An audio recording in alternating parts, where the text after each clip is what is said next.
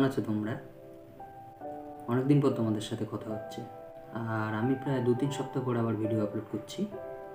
তা আজকে আমি ম্যাকআপ সিটি নিয়ে তোমাদের সামনে কিছু ধ্যান ধারণা প্রকাশ করব।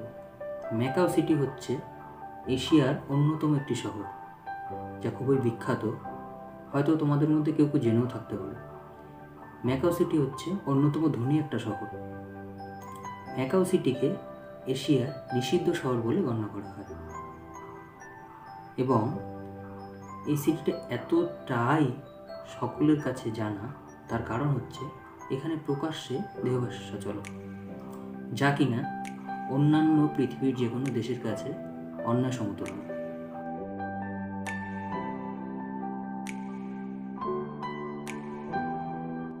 ম্যাকাও হলো চীনের বিশেষ প্রশাসনিক অঞ্চল। চীনের অধীনস্থ থাকা সত্ত্বেও কিন্তু চীনের কোনো নিয়মকানুনই এখানে চলে না। কারণ ম্যাকাওয়ের মুদ্রা, ম্যাকাওয়ের অর্থনীতি এবং ম্যাকাওয়ের শাসন ব্যবস্থা চীনের থেকে সম্পূর্ণরূপেই আলাদা। ম্যাকাওয়ের অর্থনীতি পুরোপুরিভাবে নির্ভর করছে পর্যটন শিল্পের উপরেই। কিন্তু এই পর্যটন শিল্পের মূলেও রয়েছে জুয়া এবং দেহ ব্যবসা। এই শহরের অর্থনীতির এইটটি পার্সেন্ট অর্থাৎ আশি শতাংশই আসে সম্পূর্ণভাবে জুয়া এবং দেহ ব্যবসার থেকে।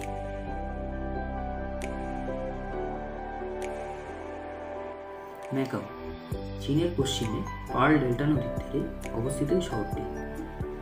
চীনের অধীনস্থ এই শহরটি বর্তমানে। এই শহরকে পাপের শহর বলা হয়ে থাকে। কিন্তু কেন? আসল রহস্য এবং প্রশ্নটাই হলো এখানে। সাড়ে ছয় লক্ষ লোকের বাস এই শহরে। এবং এই শহরে প্রতিটি মানুষের বছরে গড় আয় এক লক্ষ টাকা বিশ্বের অন্যতম এই শহরকে এশিয়ার পাপের শহর কেন বলা হয়? এটাই হচ্ছে আজকের আমাদের আসল বিষয়। তবে জেনে নেওয়া যাক আসল কারণটা কি।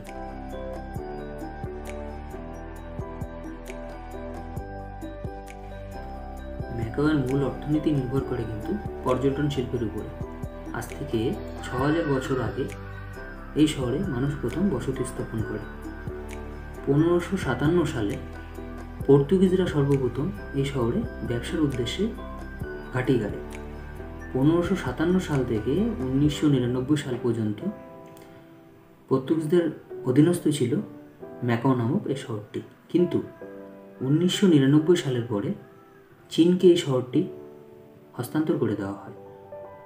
কিন্তু কোনো দেশকে যখন একটি বন্দর হোক বা একটি শহর হোক হস্তান্তর করে দেওয়া হয়, তখন নিয়ম অনুযায়ী সেই শহর বা বন্দরে সমস্ত রকম আইন কানুন, অর্থনীতি, মুদ্রা সেই দেশেরই অধীনস্থ হওয়ার কারণ। কিন্তু এখানেই একটু আলাদা সব কিছু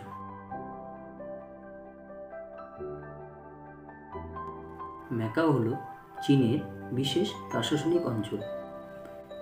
চীনের বিশেষ প্রশাসনিক অঞ্চল হওয়ার দরুন ম্যাকাওয়ের মুদ্রা, ম্যাকাওয়ের অর্থনীতি, ম্যাকাওয়ের শাসন ব্যবস্থা কিন্তু চীনের সাথে কোনো রকমভাবেই মেলে না। সমস্ত কিছু তাদের নিজস্ব সত্তা রয়েছে এবং চীনের থেকে মুদ্রা, অর্থনীতি শাসন ব্যবস্থা সম্পূর্ণরূপে আলাদা। ম্যাকাওয়ের অর্থনীতি পুরোপুরিভাবে নির্ভর করে পর্যটন শিল্পের উপরে।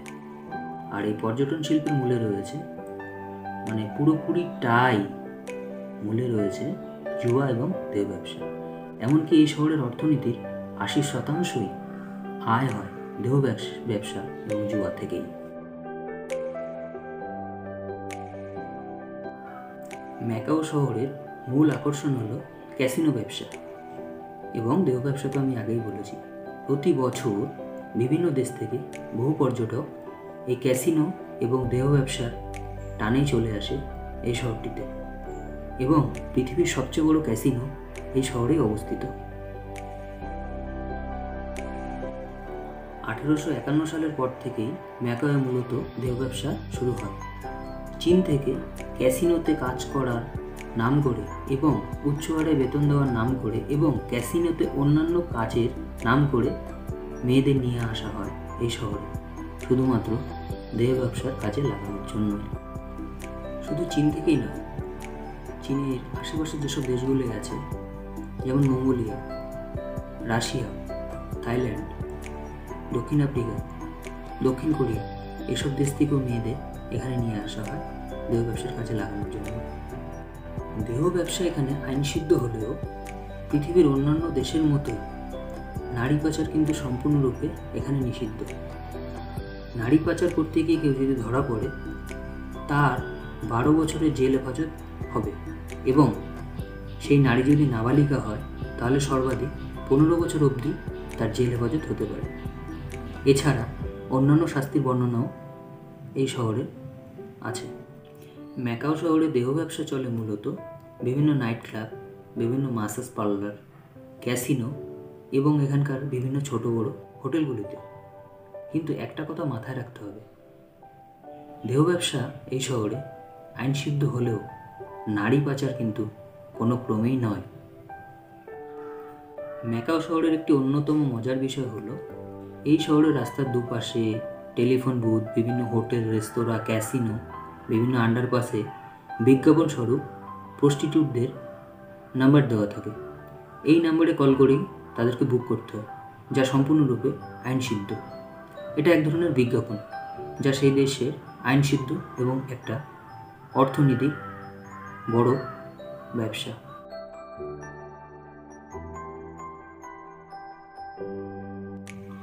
ম্যাকাও শহরটি পর্যটন শিল্পে প্রসার ঘটানোর মূলেই হচ্ছে দেহ ব্যবসা এবং ক্যাসিনো ব্যবসা, যা বিশ্বের অন্যান্য দেশের থেকে সম্পূর্ণরূপে আলাদা এবং আইনসিদ্ধ। এই কারণে ম্যাকাও শহরে বিশ্বের প্রচুর দেশ থেকে প্রচুর পরিমাণে পর্যটক আসেন এবং এখানকার দেশের নিয়ম অনুযায়ী ক্যাসিনো দেহ ব্যবসা উপভোগ করেন বন্ধুরা, আপাতত এটুকুই ম্যাকাও সম্পর্কে তোমরা মোটামুটি একটি স্বচ্ছ ধারণা পেয়ে গেছো। পরে যদি আমি আরও ইনফরমেশন পাই, অবশ্যই তোমাদেরকে আমি জানিয়ে দেবো। যদি ভালো লাগে, আমার চ্যানেলটি অবশ্যই সাবস্ক্রাইব করো লাইক করো এবং শেয়ার করো। আর যদি তোমাদের কিছু জানার ইচ্ছে ইচ্ছেও থাকে, তবে অবশ্যই কমেন্ট করে আমাকে জানিও। ওকে